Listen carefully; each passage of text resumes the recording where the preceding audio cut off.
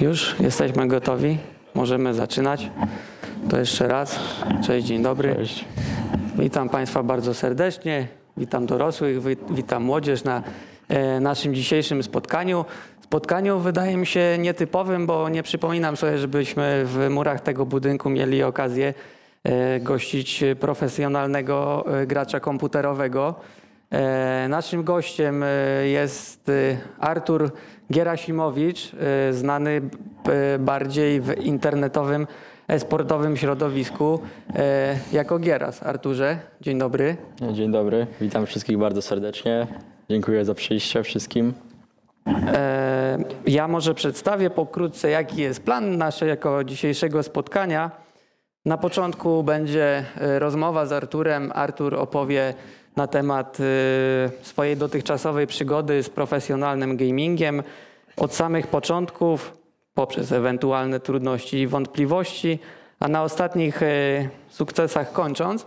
E, W międzyczasie tutaj prezentowane na rzutniku są właśnie nagrania z turnieju, o którym mam zamiar więcej z Arturem porozmawiać. No i na koniec y, przewidujemy, jeśli będą chętni, jeśli będą jakieś pytania, to przewidujemy e, kilka pytań od y, publiczności. Mm, Będziecie mogli zapytać y, i ci młodzi, i ci trochę starsi o, o wszelkie tematy, które Was interesują i miejmy nadzieję, że Artur będzie w stanie na te pytania odpowiedzieć. A ja teraz pozwolę sobie przytoczyć krótką notkę biograficzną. Jak podaje serwis internetowy Liquipedia.net, Artur Gieras-Gierasimowicz to urodzony w Polsce zawodnik Fortnite, który obecnie jest członkiem ekipy Northern Star Gaming, a wcześniej reprezentował barwy Orcadia Esports oraz Fast Forward Esports Academy. Grą Fortnite na poziomie profesjonalnym zajmuje się od 2020 roku, a jego największe sukcesy to szóste miejsce na FNCS, czyli Fortnite Championship Series 2023 Major One Europe Grand Finals, trzynaste miejsce na FNCS 2023 Major 3 Europe Grand Finals, 33 miejsce na FNCS 2023 Major 2 Europe Grand Finals. Oraz, a może przede wszystkim, bo to główny powód, dla którego się dzisiaj spotykamy, 19 miejsce na FNCS 2023 Global Championship w Kopenhadze. Nie zapomnijmy dodać, że wszystkie te sukcesy odniósł w duecie z Harrym. Arturze, mam nadzieję, że e, internet nie kłamał i wszystkie informacje tutaj zawarte są prawidłowe. Tak, są prawidłowe jak najbardziej. A y, może lista sukcesów jest za krótka, czy, czy jest wystarczająco na razie? Nie, wystarczająco na razie jest. No to dobrze. E, a teraz już przechodząc bardziej e, na poważnie i na serio do rozmowy, kilka pierwszych pytań. E, Jak rozpoczęła się Twoja przygoda z grami komputerowymi? Czy od początku wiedziałeś, że jest to coś, co chcesz robić bardziej profesjonalnie, a nie tylko jako hobby? No i jakby łączące się też z tym pytania, dlaczego akurat Fortnite i jak wyglądały Twoje początki? Okej, no to ta historia na pewno sięga bardzo daleko w przeszłość. Y, Już od najmłodszych lat tak naprawdę grałem w różne gry, y, ponieważ mój tata również bardzo, bardzo lubi grać w różne gry na konsoli przede wszystkim, więc y, czy to zawsze lubiłem oglądać jak on gra w jakieś gry, czy to graliśmy razem w Lego gry na przykład, albo tam właśnie zaczynałem od takich, e, potem przechodziłem w jakieś strzelanki powoli i zafascynowało mnie wtedy, jak zobaczyłem pierwszy raz jakby wielkie turnieje na wielkich scenach. Było to dla mnie bardzo intrygujące. Było to zresztą po- powodem, dlaczego właśnie zacząłem grać. Wtedy to jeszcze był Counter-Strike na, na, na, na laptopie w sumie mojej siostry, która mi wtedy go pożyczyła. Eee, tak, i przez bardzo długi czas właśnie, właśnie w tą grę grałem. I e, w międzyczasie wyszedł Fortnite i wtedy, do, wtedy grałem go tylko tak hobbystycznie, można powiedzieć, tylko dla zabawy, głównie z kolegami, e, aż w 2019 roku bodajże. Dalej jakby głównie skupiając się na Counter-Strike'u wygrałem pierwsze pierwsze pieniądze w Fortnite i wtedy po prostu y, postanowiłem, że jakoś będę chciał kontynuować tą ścieżkę i zobaczyć, co tam się dla mnie kryje. Rozumiem, czyli można powiedzieć, że już od najmłodszych lat, y, no może nie powiem, że byłeś ukierunkowany w stronę gier komputerowych, ale miałeś silne wsparcie y, w rodzicach, no z tego co słyszę, no to szczególnie w tacie, który zaszczepił tą taką nutkę rywalizacji komputerowej i nie tylko w tobie. E, tak, to prawda, chociaż tutaj zwróciłbym uwagę też, że, że również mama, jak i cała rodzina tak samo mnie mocno wspierali, za co też im na pewno bardzo dziękuję, ale e, wtedy jeszcze nie wiem, czy bym mówił aż tak o rywalizacji, to właśnie te gry jakieś na konsoli były takie też czysto dla zabawy, gdzieś tam y, u mnie w tych takich grach, y, gdzie się gra z innymi graczami się wytworzyła ta rywalizacja, ta, ta chęć do tego.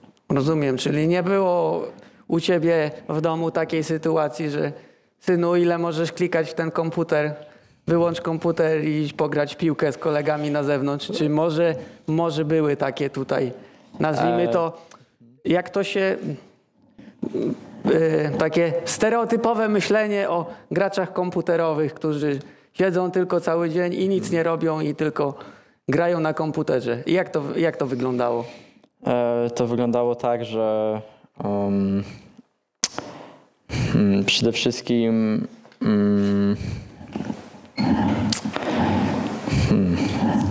muszę się zastanowić. A jeszcze raz mógłbyś pytanie powtórzyć, bo już zgubiłem pytanie. Y, No, A, o tym klikaniu w komputer, tak. Tak, tak, Więc tak. przede wszystkim właśnie też na, na, na początkach to y, mówili mi właśnie, y, wyganiali mnie, że tak powiem, z domu, chcieli, żebym jak najwięcej też wychodził na dwór, było to też jakby z mojej strony tak... Y, jeszcze miałem jakby za małą taką wiedzę, nie było to aż, nie, nie, pod, nie podchodziłem do tego tak profesjonalnie jak w tym momencie.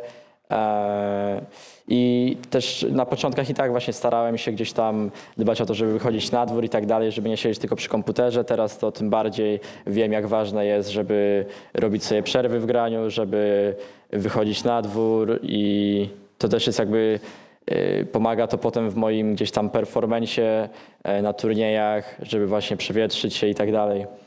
Yy, tak, ale właśnie z czasem też zrozumieli, że jakby podchodzę do tego na poważnie, że to jest wszystko jakby, jest to wielka branża, w którą gra miliony ludzi, są milionowe pule nagród i zrozumieli jakby powagę sytuacji, a też przede wszystkim zrozumieli i zobaczyli, jak bardzo mi na tym zależy i mnie w tym wspierali.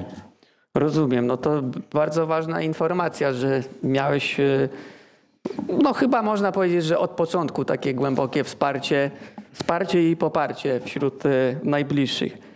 Dziękuję Ci za, za odpowiedzi na tę część pytań. Y, Chciałbym też zadać pytanie, ile czasu zajęło Ci dojście do tak zwanego competitive scene, czyli grania na poziomie profesjonalnym? Tutaj ciężko to zależy, jak definiować te, te dojście do tego competitive scene. E, tak jak mówiłem, e, pierwsze gdzieś tam nagrody wygrałem w 2019 roku i to było, gdzie jeszcze się tak bardzo nie skupiałem na Fortnite. To było bodajże po, po pewnie półtora roku zresztą od, od początku tej gry. Y, Jednak tutaj też warto zaznaczyć, że, że w przeszłości znacznie łatwiej było wygrać y, pieniądze w tej grze. Były, zresztą dlatego, że to był początek tej gry, pule nagród były znacznie większe, żeby zachęcić jak największą ilość osób. No i pewnie dużo mniej graczy było na początku. Tak, no można tak powiedzieć. E, Ale taki widać jednak zdecydowaną różnicę, jakby jaki wtedy reprezentowałem poziom w grze, a jaki reprezentuję teraz i to jakby można powiedzieć, że ten rok był najbardziej przełomowy, więc można powiedzieć, że, że po takich od 2019 do teraz, no to powiedzmy, że właśnie te 4 lata to, że y, gdzieś tam y, w 4 lata doszedłem już na taki trochę wyższy poziom. Y, Rozumiem. No to w takim razie chciałbym Cię zapytać, skoro już y, y, jesteś profesjonalnym zawodnikiem odnoszącym y, y, takie sukcesy, no i już y, jesteś na tym competitive scene, to czy od początku wszystko, że tak powiem, szło jak spłatka? Czy, czy miałeś jakieś wahania formy albo takie momenty kryzysu, zawahania, czy to w ogóle ma sens takie kontynuowanie tej kariery na profesjonalnym poziomie, czy, czy jednak jak w American Dream od zera do milionera, jak już się udało, to wszystko się udawało i tak jest do dzisiaj. Nie, no oczywiście jakby tych takich wahań, yy, wahań było bardzo dużo, takich właśnie yy, przemyśleń, czy to wszystko ma sens i tu yy, jakby zaczynając od tego, że właśnie przez te pierwsze cztery lata nie dostałem się ani razu na finały, jakby można powiedzieć, mistrzostw regionalnych, które się odbywają cztery razy w roku, a często gdzieś tam już odpadałem na, na wcześniejszych etapach i szczególnie na początku bardzo, bardzo mnie to wtedy bolało, jednak em, miałem, jakby zawsze miał, zawsze już od bardzo długiego czasu, czasu wiązałem jakby z tym przyszłość, miałem większe ambicje i patrzyłem na to z szerszej perspektywy, więc jakby gdzieś tam utrzymywałem tą determinację, żeby, żeby grać dalej. E, Co prawda gdzieś tam y, przy upływie lat wątpliwości, można powiedzieć, się wzmagały i to nawet tutaj nie tyle co jakby całkowitego zakończenia g- grać jakby na takim profesjonalnym poziomie sportowym, ale żeby myślałem nad tym, żeby może zmienić, zmienić na jakąś inną grę. e, Też ze względu na to, tam jest, jest wiele różnych takich rozterek. Jest to nie, nie prosto, jest to pogodzić ze szkołą. A miałem gdzieś tam z racji nie takich dużych wyników było ciężko mi znaleźć ludzi do gry, którzy byliby tak samo zaangażowani, z którymi udałoby mi się utworzyć jakąś taką dłuższą współpracę, która pomogłaby jakby nam obu progresować. E, Miałem też wtedy dużo żalu do producentów tej gry, którzy gdzieś tam e, nie priorytetyzowali e, turniej i skupiali się gdzieś na, na szerszym odbiorcy, dodawali przez to jakieś losowe mechaniki do gry, które były frustrujące dla graczy, graczy grających w turniejach, ale gdzieś tam też e, okolice rok temu y, odezwałem się do takiego coacha mentalnego, który wtedy mi bardzo pomógł. Zresztą do pani Urszuli Klimcza, której bardzo dziękuję. I gdzieś tam to potem już szło do góry. Rozumiem. E, czyli można powiedzieć, jakieś wahania były, ale, nie- ale tylko cię umocniły w, w Twoim postanowieniu i w Twoim dążeniu do bycia coraz bardziej profesjonalnym i Tak. coraz lepszym e-sportowcem. Tak, na pewno nie da się ich uniknąć. Są, są wręcz kluczowe do, do jakiegoś tam progresu i po prostu muszą się wydarzyć. No to teraz y, pytanie, myślę, które e, bardzo, y, bardzo będą chcieli poznać odpowiedź rodzice, czy też starsi e, y, siedzący y, tutaj z nami słuchacze. Jak wygląda łączenie, czy też godzenie takiej, takiego profesjonalnego grania z nauką w szkole, bo no, nie, nie da się ukryć, że no jeszcze uczęszczasz do szkoły, Tak. to dobrze. I, i jak wygląda właśnie e, ta kwestia? Czy to jest coś kosztem czegoś, czy da się to na e, dobrym poziomie i dla grania, i dla szkoły połączyć? Okej, e, w pewien sposób na pewno się da. Tutaj przede wszystkim wyróżniłbym to, że y, takim kluczem do, do pogodzenia tego jest optymalizacja czasu po prostu podczas dnia. Jest to tak y, bardzo ważna lekcja, jakby można powiedzieć, dla, dla wszystkich osób, że na pewno y, wierzę w to, że mamy wszyscy więcej czasu niż nam się może wydawać. Trzeba go po prostu dobrze zaplanować, zoptymalizować, aby nie tracić czasu na rzeczy nieprzydatne albo y, po prostu e, wykorzystywać jak najwięcej czasu na, na te rzeczy, które są dla nas najważniejsze. E, Dlatego też, czy to trzeba właśnie, y, dobrze jest jak najwięcej lekcji wynosić y, ze szkoły, żeby potem w domu się nie musieć uczyć. E, I Dlatego właśnie, e, no tylko też nie da się ukryć, że gdzieś szkoła na pewno może chociaż trochę ucierpieć, ale jest to no, nie da się w 100% tego pogodzić, żeby być najlepszym uczniem i najlepszym graczem. Trochę to da się to pogodzić, ale nie jest to na pewno proste, ale jestem chyba przykładem, że się da. E, To ja zapytam, czy zadowolony jesteś z próbnych matur?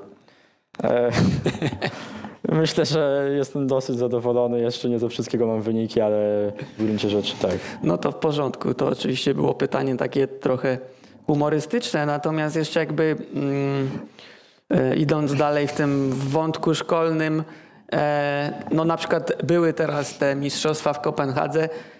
Wiadomo, jak byłeś na mistrzostwach, no musiałeś pojechać e, trochę wcześniej. Siłą rzeczy nie mogłeś być tego dnia czy dwóch e, w szkole. E, Czy nauczyciele o tym wiedzieli, a e, jeśli tak, to jak do tego podchodzili? Czy może już jesteś taką, mm, jak to się dzisiaj mówi, może jesteś takim fejmem w szkole i już cała szkoła wiedziała o tym, że tutaj jej przedstawiciel jedzie na zawody takiej rangi i wręcz nauczyciele byli dumni z tego.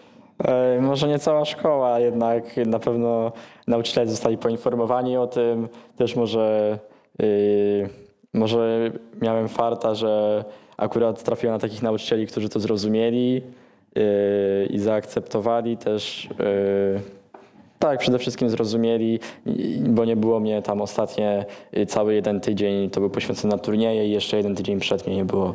Potem to nadrobiłem. Czyli to są właśnie te koszty, można powiedzieć, utracone w szkole, że no ale tak, jeśli trzeba się było przygotować do takiego turnieju, no to niestety trochę szkoły trzeba było opuścić, ale skoro mówisz, że matura poszła dobrze, to, to, to bardzo dobrze.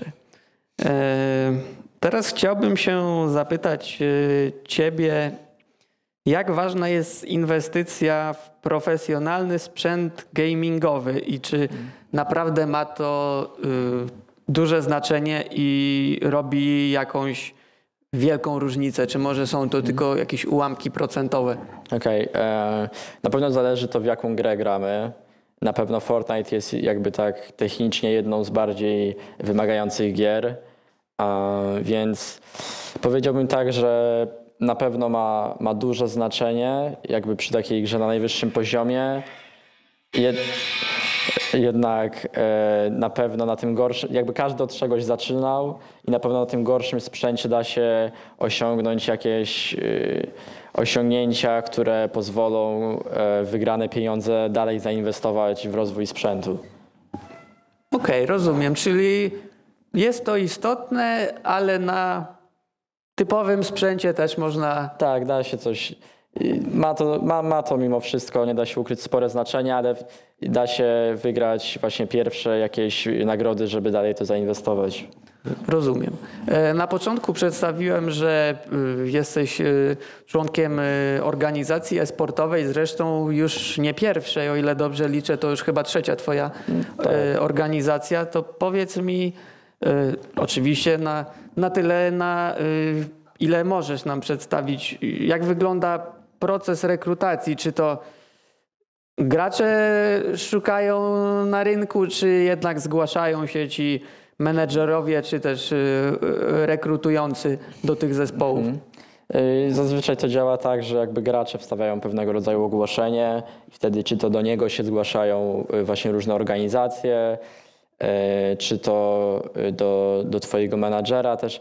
Akurat w Fortnite jest dosyć specyficznie, że jest yy, wbrew pozorom bardzo dużo takich też mniejszych organizacji, jest dużo menadżerów, którzy są w stanie wykonywać pewną pracę nawet za darmo i gdzieś tam y, znalezienie organizacji, która zapłaci chociaż jakieś, jakieś małe sumy na sam początek, to też nie jest tak bardzo ciężko. Rozumiem. No i w tym momencie przechodzimy do, do tematu, który y, myślę no jest jakby mm, główną częścią naszej rozmowy e, i powodem tego spotkania, czyli tych mistrzostw świata. Wiem, że profesjonalnie nazywa się to trochę inaczej, ale żeby, Nie, żeby, tak żeby ukrócić, to będę mówił Mistrzostw Świata w Fortnite w Kopenhadze. Jak wyglądał Twój proces przygotowań? Tylko nie mów, że nie chodziłeś do szkoły. Mógłbym odpowiedzieć, że przygotowywałem się na to przez te wszystkie lata, jednak jeżeli chodzi o, o tak jakby stricte już do tego turnieju, no to mógłbym powiedzieć, że jakby już tak y, stricte strategicznie. E, przede wszystkim oglądałem, jak grają jakby inni ludzie, którzy e, jadą na ten turniej. E, przygotowywałem gdzieś tam swój, swój plan gry właśnie pod tych konkretnych zawodników. Testowałem te plany, mnóstwo poprawek trzeba było do nich zrobić. E, Tak, więc to przede wszystkim odpowiedział, że taka z takiej perspektywy strategicznej.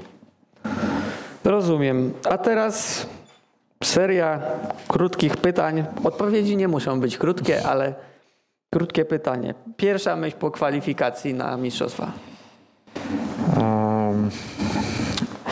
To też było dosyć y, nietypowa sytuacja, gdyż ja już tak naprawdę byłem pogodzony z tym, że się nie dostałem, ponieważ na początku y, byłem jedno miejsce od tej kwalifikacji i dopiero po jakimś miesiącu czasu od, od, od właśnie tych kwalifikacji dostałem informację, że się dostałem ze względu na dyskwalifikację jednego z zespołów.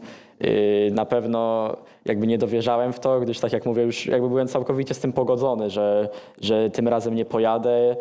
I był to na pewno dla mnie, dla mnie spory szok i, i bardzo się cieszyłem i od razu zacząłem przygotowania.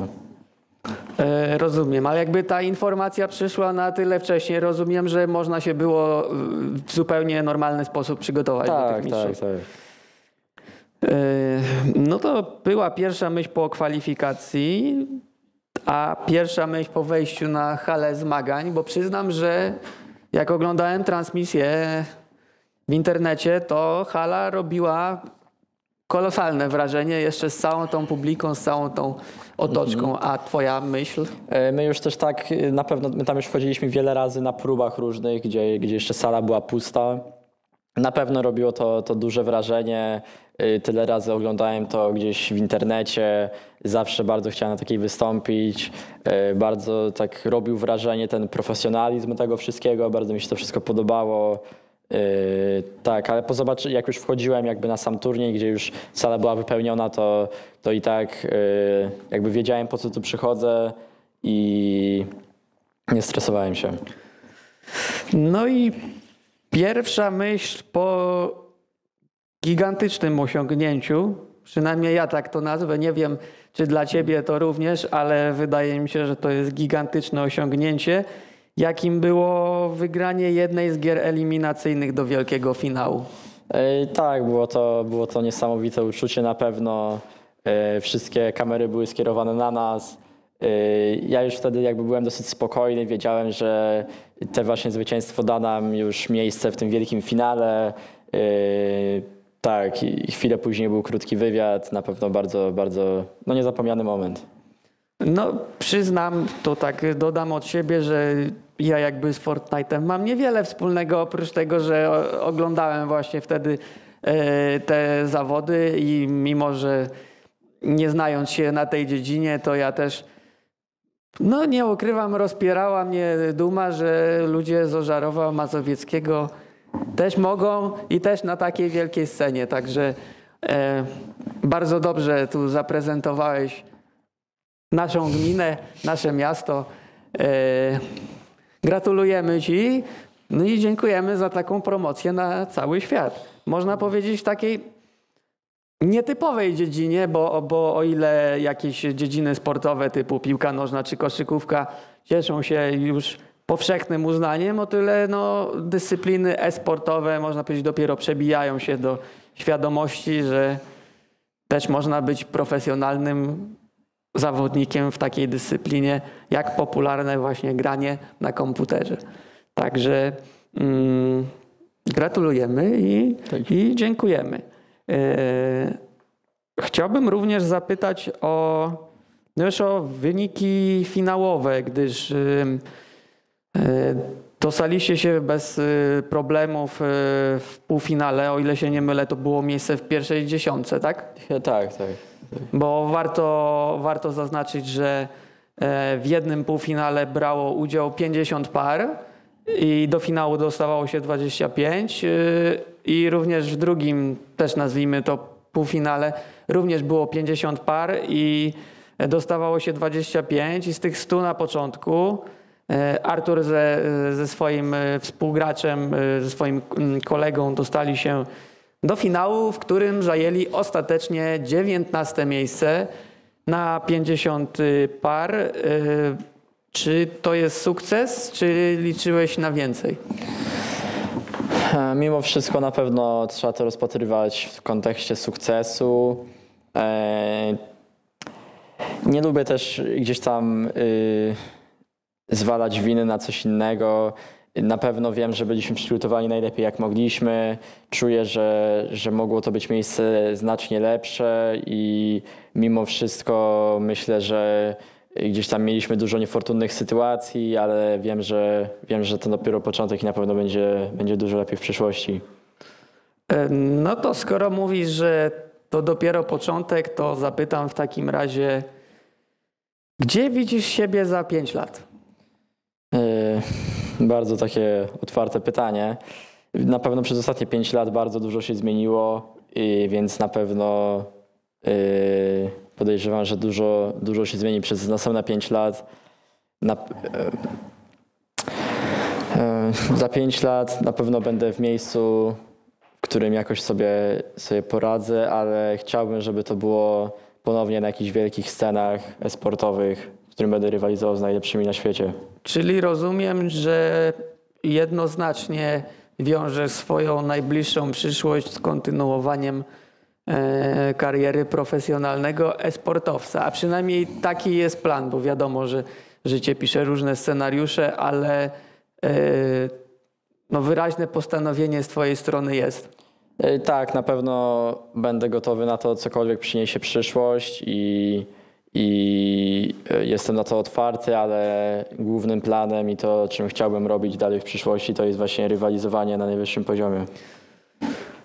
Rozumiem. No to w takim razie e, takie trochę filozoficzne pytanie albo prośba na koniec e, tej części naszego spotkania.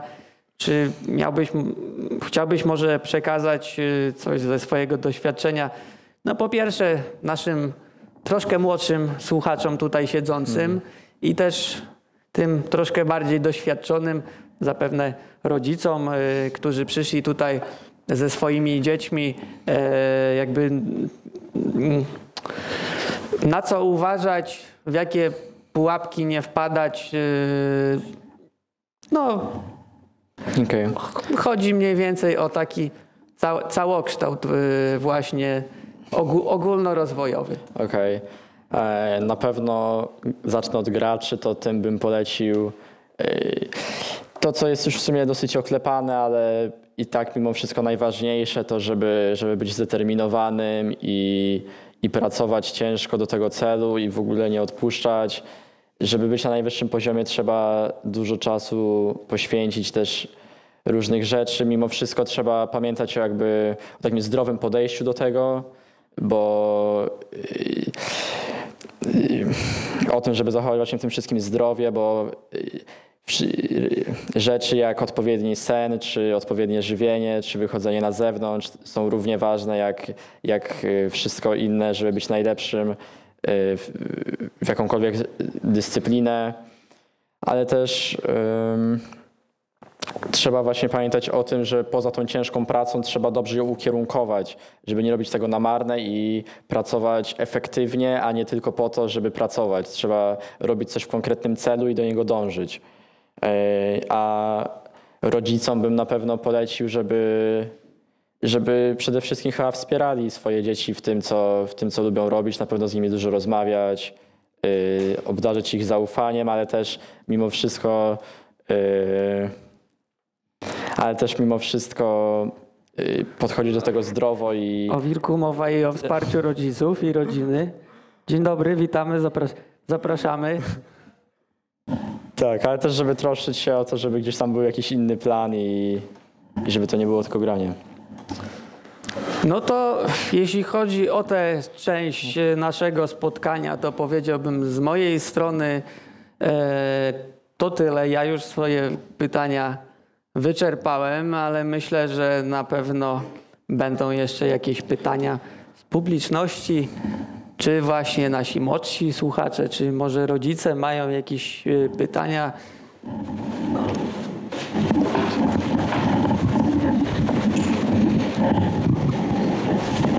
Proszę bardzo. Jaka jest twoja najwyższa ranga Fortnite? Yy, No to w, w tym sezonie chyba jeszcze i tak ta ranga w Fortnite aktualnie jakby w takiej perspektywie turniej nie ma takiego dużego znaczenia. No na, na pewno, bo dopiero co się zaczął nowy sezon, to w poprzednim no to miałem tą najwyższą rangę y, Unreal.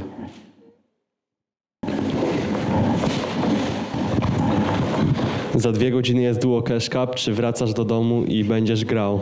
Jak najbardziej. I będzie kwal robiony? Tak, tak, musi być. To będę trzymał kciuki, będę oglądał u QLN-a.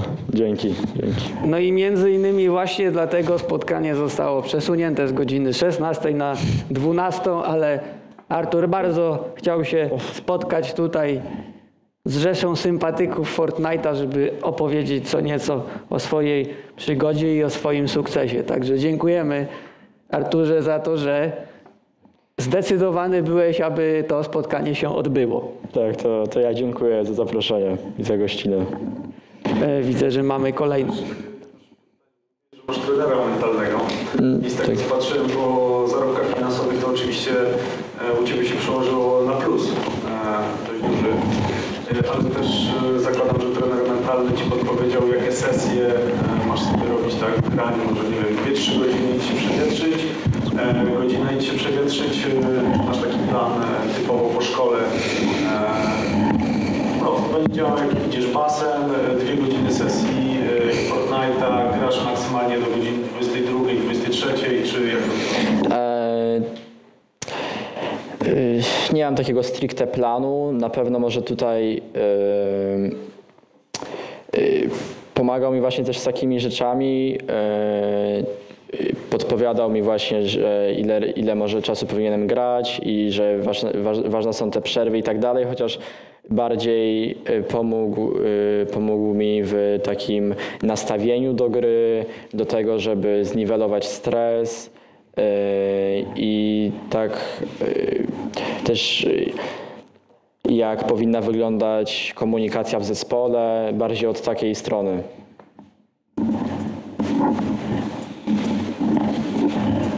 Słuchamy, czekamy nadal.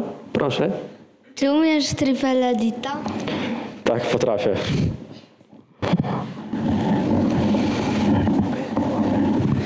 Tam y, kolega zadał pytanie, czy będziesz grał Cupa, to ja mam pytanie, czy będzie z niego stream. Nie, z całego szkapa nie będzie streama, niestety. Dobrze, dziękuję.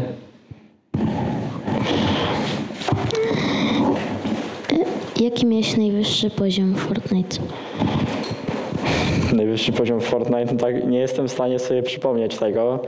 No na pewno, żeby też nie skłamać, na pewno powiem, że, że w którymś sezonie na pewno miałem powyżej 200, ale to nie pamiętam jaki to był. Czy podoba Ci się karnet bojowy z tego sezonu? Aż tak uważnie się mu nie przyglądałem, yy, ale z tego, co, z tego, co tam przyglądałem, to tak był dosyć, był dosyć fajny. Czy podobają Ci się nowe tryby? Yy, Jeżeli chodzi, bo teraz dodali właśnie taki tryb Lego Fortnite, że po prostu jest Fortnite w świecie Lego i tam jeszcze taki tryb yy, wyścigowy. Yy, Przyznam, że zagrałem chyba, chyba raz w niego.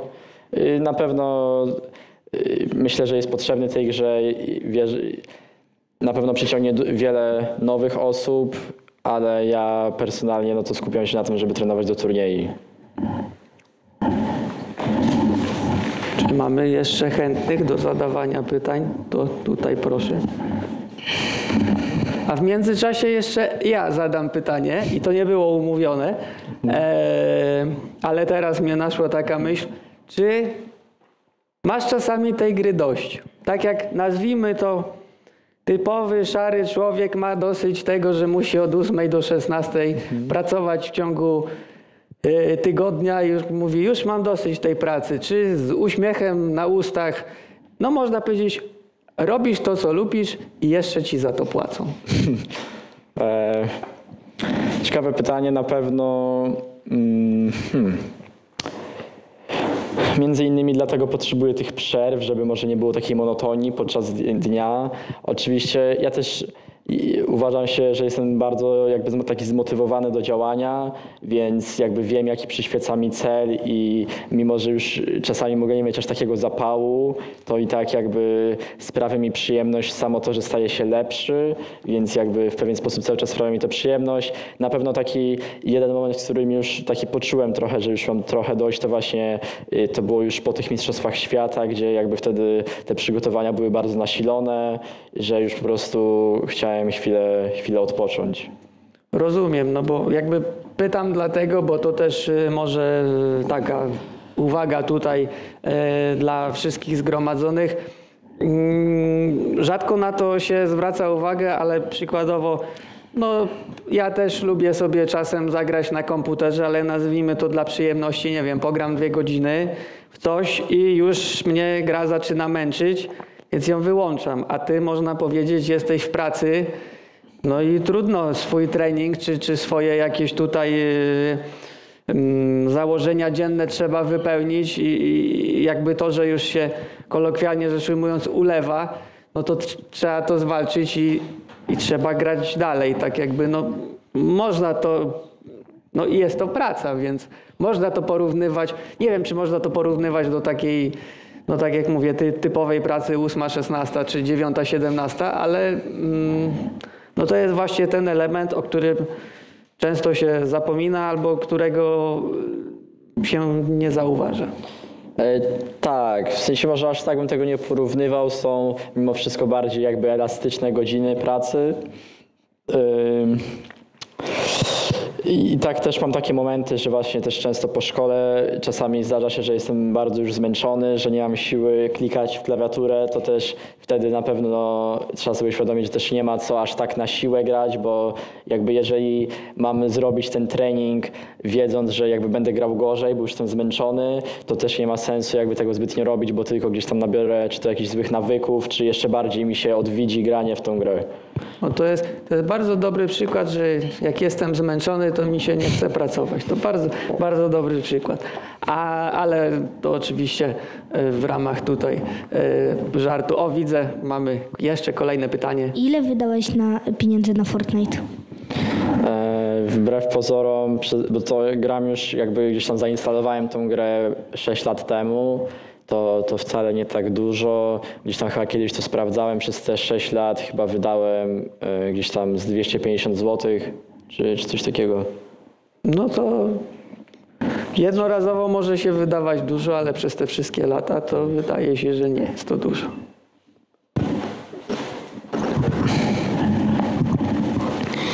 Który sezon najbardziej Ci się podobał i o czym był? Dobrze, jeszcze na chwilę może wrócę do poprzedniego pytania, tylko żeby tak y, wyjaśnić, że to chodzi tylko jakby ile wydałem na grę jakby y, tych wirtualnych pieniędzy w grze, tak? Nie, że na sprzęt czy, czy coś, tylko Nie, nie, mówię nie, tak, tak, tak. Y, Tak zwane mikropłatności. tak. Jakie, jaki sezon mi się najbardziej podobał, to ciężkie pytanie, szczerze mówiąc. Mm. Dobrze, niech będzie, że to był rozdział czwarty, sezon pierwszy. Wtedy też y, zrobiłem szóste miejsce właśnie na tych mistrzostwach y, przez internet w Europie. Y, tak. Ile masz fałdolców? W obecnym momencie, z tego co wiem, mamy 7 tysięcy też na przykład zdarzało mi się, że dostałem te widelce za to, że, że udzieliłem jakiegoś wywiadu raz jednorazowo albo udostępniłem kamerę na turniej.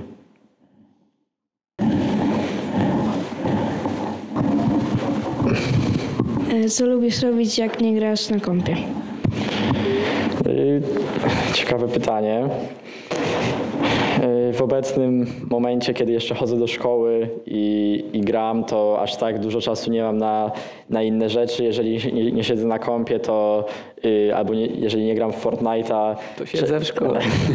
nie, często lubię też grać w szachy.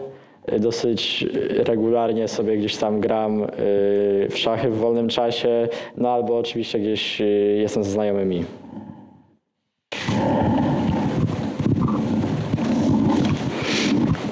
widzę, że chyba nie wyczerpują się pytania.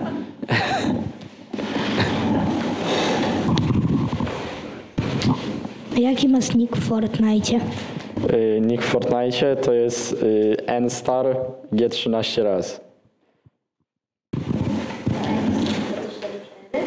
Y, tak, to, y, NS jest z dużej, bo to jest jakby skrót od mojej organizacji, N-Star i potem G z dużej, 13 raz z małej.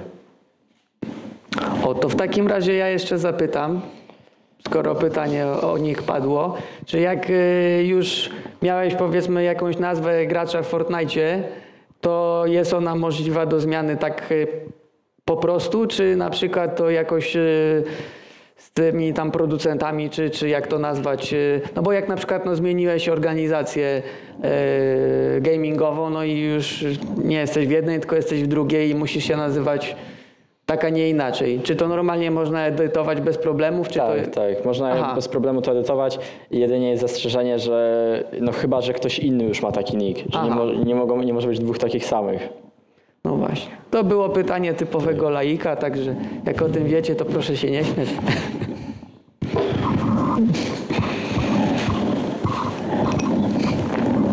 Ma, mamy kolejne pytanie. Dobra, ja już podam. Proszę bardzo. Y, Ja mam takie krótsze pytanie. Co sądzisz o skinie Major Ciato, który jest częścią zestawu placówki? Bardzo, bardzo porządny skin.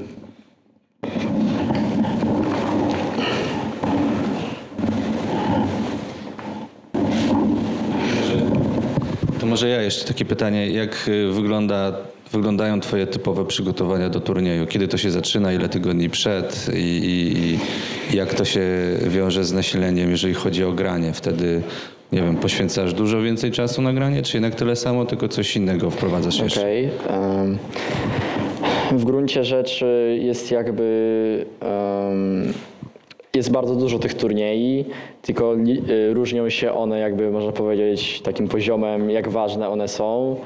Y, Takie właśnie, tak jak mówiłem, takie mistrzostwa regionalne, one są najważniejszym turniejem w sezonie, no to są y, cztery razy w roku, można powiedzieć właśnie raz, raz na trzy miesiące. Y, I wygląda to, to w sumie można powiedzieć tak, że e, gdzie są na początku y, właśnie rozpoczęcia sezonu, kiedy są y, różne zmiany wprowadzane. Y, Można powiedzieć, że od początku sezonu do tych mistrzostw są 2-3 miesiące. No to na początku trzeba właśnie rozpoznać się w tych wszystkich zmianach. Na początku jest to wszystko takie nowe, trzeba to wszystko sobie poukładać, potem się to i, i się tak stopniowo to nasila, aż do, można powiedzieć, punktu kulminacyjnego, jakim, jakim są te mistrzostwa. E, I ten trening na pewno y, się zmienia. Właśnie na początku jest to rozpoznanie w tych zmianach, potem jest już y, jakby takie adaptowanie się do nich i przygotowywanie powoli strategii. No już tak pod koniec jest, są już takie przygotowania stricte pod ten konkretny turniej z tymi konkretnymi graczami, którzy, o których wiem, że się też zakwalifikowali, żeby sporządzić plan stricte pod nich i właśnie y, gdzieś tam testowanie tego planu i wprowadzanie różnych poprawek i właśnie zazwyczaj po, po właśnie tym najważniejszym turnieju jest można powiedzieć parę tygodni y, przerwy albo takiego już tych mniej ważnych turniejów, w których można odpocząć i czekać na kolejny sezon.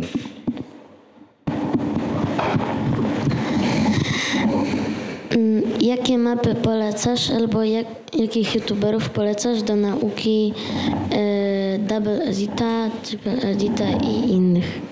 E, Do takiej ogólnej nauki budowania dobre są mapy od Raidera. E, e, e, Tak samo zawsze warto gdzieś tam grać pojedynki jeden na jednego, które też y, pomogą w takiej umiejętności y, pojedynków. E, Fajne są też mapy typu 200 only, y, gdzie trenuje się celowanie z broni. E, Tak. No i zachęcamy do śledzenia mediów społecznościowych naszego gościa oczywiście w tym celu. Jakim skinem najczęściej grasz? Mm, Jestem ogólnie typem osoby, który rzadko zmienia tego skina. Najczęściej gram y, bohaterką.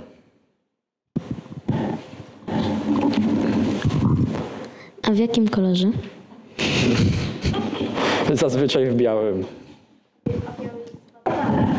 Nie no, można mieć taki biało-szary trochę. Taki zlek. Czy kiedyś grałeś z Jacobem? Y, tak, y, grałem kiedyś z Jacobem, nawet y, gdzieś tam byłem na jakimś odcinku u niego na YouTubie.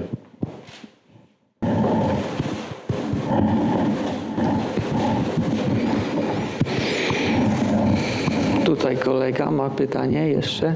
Czy można dostać fałdolce za darmo? Nie jest to możliwe. Nie da się tego zrobić. Nie da się tak samo nikomu przetransferować tych fałdolcy. A jak dużo jest, jaka jest proporcja turniejów lanowych do turniejów online? Teraz ten trend jest, y, że jest coraz więcej tych turniejów lanowych, y, głównie ze względu na, na, na COVID-a, który panował y, w poprzednich latach. Fortnite i tak jakby tak jest też młodą grą, też stosunkowo jakby późno w porównaniu do innych gier obudził się z tymi turniejami lanowymi, żeby je znowu wznowić. Y, Obecnie taki oficjalny turniej, właśnie to takie można powiedzieć światowe mistrzostwa, y, jeżeli spojrzymy na ostatnie dwa lata, to odbywają się raz w roku. Y, Być może się to zmieni w następnym i na przykład będą już dwa takie duże turnieje w roku, ale także występują e, parę razy w roku takie mniejsze turnieje lanowe. E, Tak. Jest to też spowodowane tak stosunkowo do innych gier. Nie ma ich aż tak dużo, ale ze względu na to, że tutaj trzeba zebrać 100 graczy aż i zapewnić im jakby jakieś warunki do gry, co nie jest organizacyjnie proste. I tak na niektórych tych mniejszych turniejach, e, nie tak jak ten w Kopenhadze, to trzeba było nawet swój komputer przetransportować. Tak samo na przykład ja raz jechałem y, samochodem do Szwecji z komputerem i, i z kolegami. Tak, tak to wyglądało. Ale rozumiem, że jak na przykład były te mistrzostwa, no to te y, typu zakwaterowanie. Nie, no to tak, już na takich właśnie światowych mistrzostwach, no to tam już jest jakby taki pełen profesjonalizm, tam są wszystkie, cały sprzęt jest zapewniony. W sumie chociaż poza, y, trzeba było wziąć jedynie klawiaturę, myszkę, podkładkę, słuchawki, komputer, monitor i biurko oczywiście już tam było. Yy, Tylko zakwatero- dobrego łącza internetowego. Tak. nie było. Zakwaterowanie oczywiście jest, jest w cenie, y, wyżywienie w większości, y, sam transport, żeby tam przelecieć. Tak. Y, Czy ze swojej szafki można wysłać komuś skina na przykład? Nie da się ze swojej szafki wysłać komuś skina. Można tylko y, dać komuś podarunek, y, jeżeli ten skin jest w sklepie, to można komuś mu go wysłać.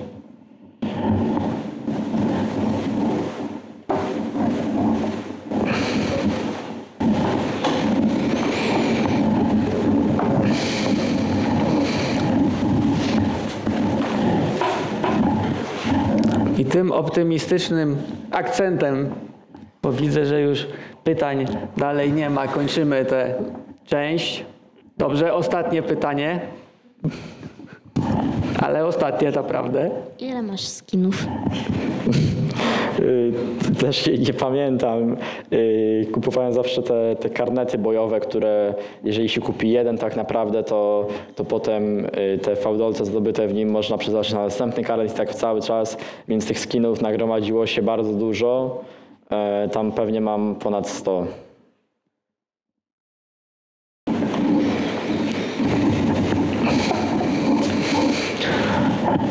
Dziękujemy bardzo za tę drugą część naszego spotkania, a teraz wydaje mi się, że część najprzyjemniejsza, czy część, na którą e, najbardziej niektórzy czekają. Można podejść do Artura, zbić piątkę, zrobić sobie z nim zdjęcie.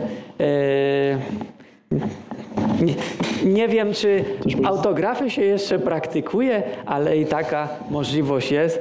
Także ja ze swojej strony bardzo dziękuję za to spotkanie.